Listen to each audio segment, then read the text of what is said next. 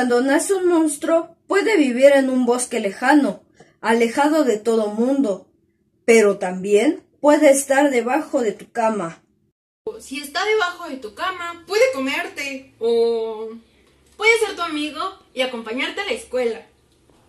Si no te come y lo llevas a la escuela, puede que sea un gran estudiante y sea un gran jugador de baloncesto, pero también se puede comer al director. Si se sienta de manera tranquila, entonces todo estará bien. Pero, ¿y mm, si se come al director? ¿Qué pasa? ¿Qué pasa? Gruñirá diciendo ñam ñam y bailará, ¿eh?